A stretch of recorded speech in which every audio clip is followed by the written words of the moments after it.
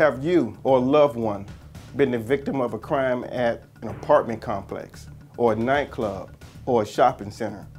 Are you wondering, could that crime have been prevented? Sometimes to prevent these crimes, all that's needed is a little better security. Better security guards, better surveillance, better lighting. If you think that a crime against you could have been prevented, then you may have a case. Call me, Attorney Joe North, at 239 337 1191.